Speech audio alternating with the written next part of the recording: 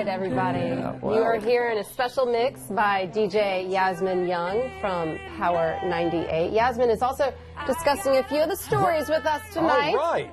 In the Daily Pop, that's coming up, including a preview of this year's Country Music Awards airing on WBTV this Sunday. Can we just listen to your music? Sure, go for it, yeah. Everything she has, Good song that choice. smile and that midnight laugh, she's giving